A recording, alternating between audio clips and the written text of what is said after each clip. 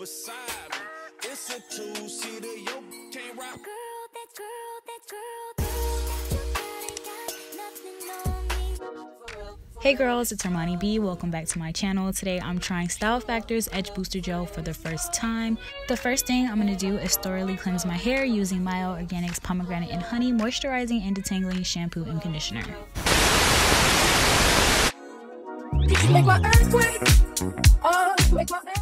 So I have my spray bottle filled with water, of course, and next I'm going to go in with Mielle Organics Pomegranate and Honey Curl Smoothie.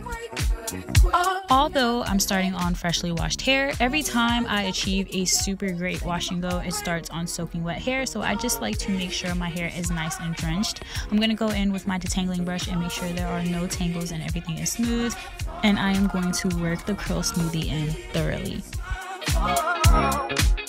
After working the curl smoothie in, I'm going to split the section into subsections and I am going to go in with the Style Factor Stronghold Gel. My first impression of this gel was crazy. It was so thick. Hey yo, what the fuck? Like, I didn't even want to put this stuff on my hair. It was so thick, I was scared. Ew. But I gave it a try. My facial expression was exactly how I was feeling. It was so thick. I just felt like it was going to have my hair super stiff and it was going to have my curls way down. I didn't know how to feel about it at first. I was just like, what the hell is this gel? Held it together and I said to myself, I'm gonna make this gel work. I don't care if it's the worst gel ever. So I did the shingling method. Everyone knows this is my favorite technique and I continued on throughout my entire head like I always do with every single successful wash and go.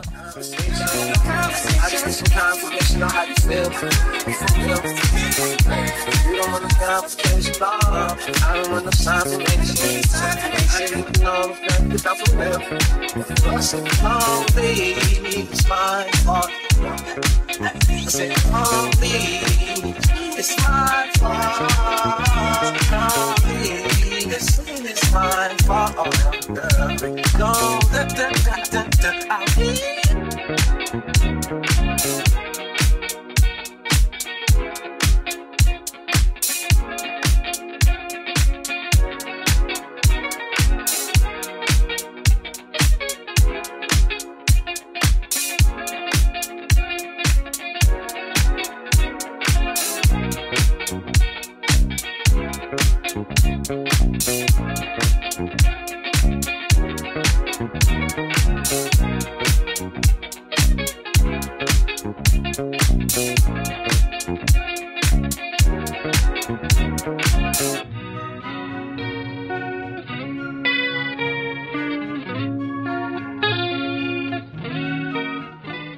I said, as far as the shingling method, I do this technique throughout my entire head, but when I get towards the front, I do rake the product through because my texture is a little bit more loose.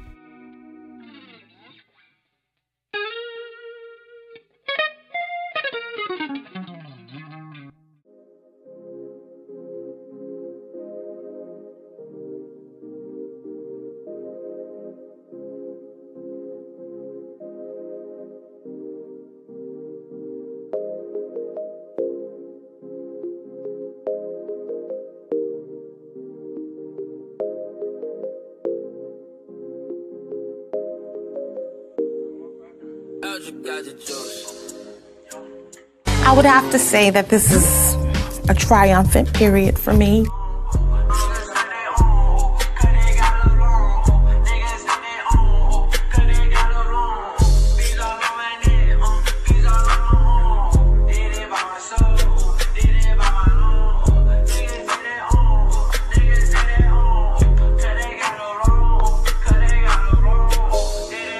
I put that on my period, I put it on my metro.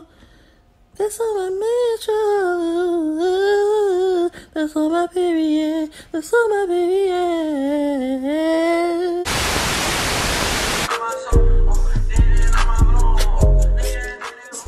And I, oh. These are my results after my hair is fully dried and stretched. I'm just gonna go in with my pick to give it a little bit more volume. but I do want to inform you guys my wash and go was crunchy as hell, okay? If somebody touched my hair, it would feel like they were crunching a bag of chips. My hair felt dry, my hair felt like hay. The only pro to this gel was the fact that my hair dried super fast. Crunchy, like crunchy, crunchy, crunchy, crunchy, crunchy, crunchy, crunchy, crunchy.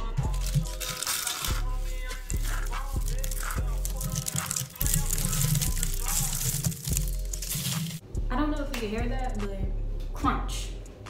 Oh Lord. Again. A fucking again.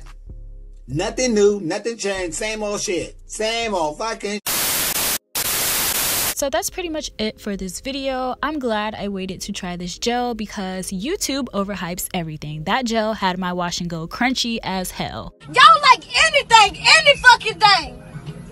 The fuck my phone there, cause you pissing me off. Move. Thanks for watching. Don't forget to give it a thumbs up, comment, and subscribe.